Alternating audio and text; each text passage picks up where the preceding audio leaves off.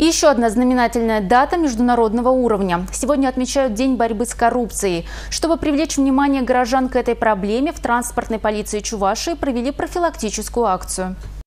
О том, к чему может привести дача взятки должностному лицу, полицейские рассказывали горожанам на железнодорожном вокзале. Сотрудники линейного отдела и представители общественного совета МВД раздавали чебоксарцам вот такие памятки. В них подробно написано, что необходимо делать и куда обращаться жертвам, а также свидетелям преступлений. С начала этого года транспортной полицией Чувашии было пресечено 14 фактов взяточничества. Чаще всего деньги предлагают полицейским под предлогом вознаграждения за несостоятельность составления протокола.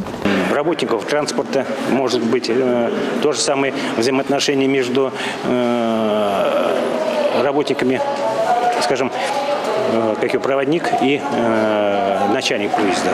Взаимоотношениях тоже может быть где-то э, как кто-то нарушил, а второй воспользовался, решит воспользоваться этим э, в целях наживы. Должна быть обратная связь от населения, от общественности, как его правоохранительные органы, э, как э, воспринимает и что хочет э, население нашего как его, государства от деятельности э, полиции, в том числе и по борьбе э, с коррупцией. Цель акции – довести до граждан информацию о повседневной деятельности транспортной полиции и довести информацию о правилах поведения граждан при проявлении в отношении них коррупционных действий. Мероприятие проводится на объектах железнодорожного, водного и воздушного транспорта. Сотрудники транспортной полиции встречались не только с пассажирами, но и с проводниками поездов, работниками вокзалов. Подобные акции ведомстве проводят каждый год, и они приносят ощутимый эффект.